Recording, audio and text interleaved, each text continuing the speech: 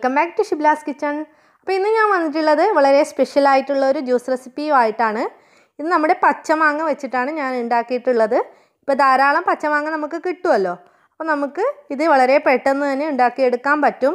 നല്ല ചില്ലായിട്ടുള്ള ഒരു ജ്യൂസാണിത് നമുക്ക് ചൂടുകാലത്തൊക്കെ കുടിക്കാൻ പറ്റിയ ഒരു ജ്യൂസാണ് അപ്പോൾ നമുക്ക് എങ്ങനെയാണെന്ന് നോക്കാം. അപ്പോൾ അതിന് വേണ്ടിയിട്ട് ഞാനിവിടെ നല്ല പുളിയുള്ള ഒരു പച്ചമാങ്ങ എടുത്തിട്ടുണ്ട്. ഇത് നാടൻ പച്ചമാങ്ങയാണ്. ഇവിടെ നിന്ന് തന്നെ കിട്ടിയതാണ്. ഞങ്ങളുടെ വീട്ടിൽ മാങ്ങയില്ല ഞങ്ങൾക്ക് വേറൊരാൾ കൊണ്ടു തന്നതാണ്. അപ്പം അത് വെച്ചിട്ട് ജ്യൂസ് ഉണ്ടാക്കാമെന്ന് കരുതി. ഇനി ഇത് നമുക്ക് കട്ട് ചെയ്തെടുക്കണം. ഇനി ഇത് നമുക്ക് ചെറിയ ചെറിയ പീസാക്കി കട്ട് ചെയ്തെടുക്കാം. അപ്പം ഞാൻ ചെറിയ പീസസാക്കി കട്ട് ചെയ്ത് എടുത്തിട്ടുണ്ട്. ഇനി നമുക്കിത് അരച്ചെടുക്കുന്നത് നമ്മൾ ചട്നി അരക്കുന്ന ജാറുണ്ടല്ലോ മിക്സിയുടെ ആ ജാറിലാണ് കാരണം പച്ചമാങ്ങ ആയതുകൊണ്ട് നമുക്ക് പെട്ടെന്ന് അരഞ്ഞു കിട്ടില്ല. അതുകൊണ്ട് ചെറിയ ജാറിൽ അരച്ചെടുക്കുന്നത് നല്ലതാണ്. ഇനി ഇതിലേക്ക് നമുക്ക് നല്ല ജീരകം ഉണ്ടല്ലോ. അത് ഒരു കാൽ ടീസ്പൂണ് ചേർത്ത് കൊടുക്കാം. ജീരകത്തിന്റെ ഫ്ലേവർ ഇഷ്ടമുള്ളവർ മാത്രം ചേർത്ത് കൊടുത്താൽ മതി. അല്ലാത്തവർ ചേർത്ത് കൊടുക്കണ്ട. അത് ചേർത്ത് കൊടുത്തില്ലെങ്കിലും പ്രശ്നമൊന്നുമില്ല. പക്ഷെ നല്ലതാണ് അത് ചേർത്ത് കൊടുത്താൽ ഗ്യാസ്ട്രിക്കിനൊക്കെ ഇനി ഇതിലോട്ട് അര ടീസ്പൂണ് ഉപ്പ് ചേർത്ത് കൊടുക്കാം. ജീരകത്തിന് പകരം നിങ്ങൾക്ക് മിന്റ് ലീഫ് വേണമെങ്കിൽ ചേർത്ത് കൊടുക്കാം കേട്ടോ. ഇനി ഇത് അതൊന്നും ഇല്ലെങ്കിലും ഒരു പ്രശ്നവും ഇല്ല ഇനി ഇതിലോട്ട് നമുക്ക് പഞ്ചസാര ചേർത്ത് കൊടുക്കാം. ഞാനിവിടെ ഒരു നാല് ടീസ്പൂൺ പഞ്ചസാരയാണ് ചേർത്ത് കൊടുത്തിട്ടുള്ളത്. നിങ്ങൾക്ക് വേണമെങ്കിൽ കൂടുതൽ ചേർത്ത് കൊടുക്കാവുന്നതാണ്. ഇനി ഇതിലോട്ട് ഒരു ചെറിയ കഷ്ണം ഇഞ്ചി ചേർത്ത് കൊടുക്കാം. ഇതാ വളരെ ചെറിയ കഷ്ണം ഇഞ്ചിയാണ് ഞാൻ എടുത്തിട്ടുള്ളത്. ഇത് ഇതിലോട്ട് ചേർത്ത് കൊടുക്കാം.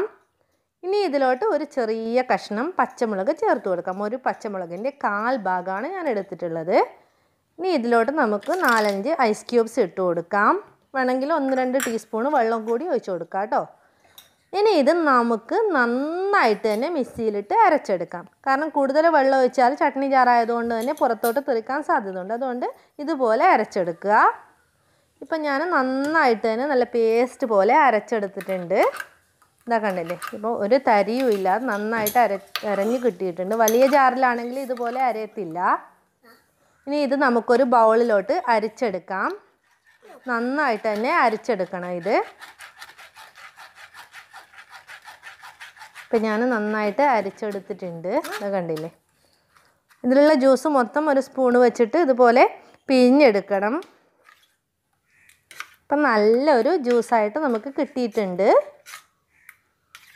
ഇത് ഉപ്പും പുളിയും എരിവും ഒക്കെ ആയിട്ട് കുടിക്കാൻ നല്ല ടേസ്റ്റാണ്. ഇനിയൊരു ഗ്ലാസ്സിലോട്ട് നമുക്ക് കുറച്ച് ഐസ് ക്യൂബ്സ് ഇട്ട് കൊടുക്കാം. ഇത് ചൂടുകാലം ആയതുകൊണ്ട് നല്ല തണുപ്പോടെ കുടിക്കുന്നതാണ് നല്ലത്. ഐസ് ക്യൂബ്സ് ഇട്ട് കൊടുത്തിട്ട് ഇതിലോട്ട് നമ്മൾ അടിച്ചു വെച്ചിട്ടുള്ള ജ്യൂസ് പകുതി വരെ ഒഴിച്ച് കൊടുക്കാം. ഫുള്ളായിട്ട് ഒഴിച്ച് കൊടുക്കണ്ട. പകുതി വരെ ഒഴിച്ച് കൊടുത്താൽ മതി. ഇത് കുറച്ച് തിക്കായിട്ടാണ് ഉള്ളത്. ഇതൊന്ന് ലൂസാക്കി എടുക്കണം നമുക്ക്. ഇനി ഇത് ലൂസാക്കി എടുക്കാൻ വേണ്ടിയിട്ട് ഞാൻ ഇതിന്റെ പകുതി പ്ലെയിൻ സോഡയാണ് ഒഴിച്ചു കൊടുക്കുന്നത്.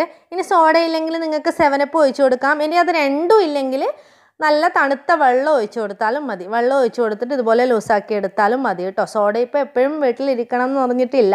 ഇപ്പോൾ എന്റെ അടുത്ത് സോഡ ഉള്ളതുകൊണ്ട് ഞാൻ സോഡ ഒഴിച്ചു കൊടുത്തു എന്ന് മാത്രം. വെള്ളം ഒഴിച്ചു കൊടുത്തിട്ട് സേവ് ചെയ്താലും മതി കേട്ടോ. ഇനി ഇതിലോട്ട് നമുക്ക് പച്ചമാങ്ങയുടെ കഷ്ണം വെച്ചിട്ട് ഡെക്കറേറ്റ് ചെയ്തിട്ട് ഇതുപോലെ സേവ് ചെയ്യാം. അപ്പോൾ ഇത് വളരെ സിമ്പിളായിട്ടുള്ള അതേപോലെ ടേസ്റ്റി ആയിട്ടുള്ള ഒരു ജ്യൂസാണ് അപ്പോൾ എല്ലാവരും ട്രൈ ചെയ്ത് നോക്കിയിട്ട് ലൈക്കും ഷെയറും കമന്റും ഒക്കെ ചെയ്യുക. സബ്സ്ക്രൈബ് ചെയ്യാത്തവരുണ്ടെങ്കിൽ സബ്സ്ക്രൈബും ചെയ്യുക. താങ്ക്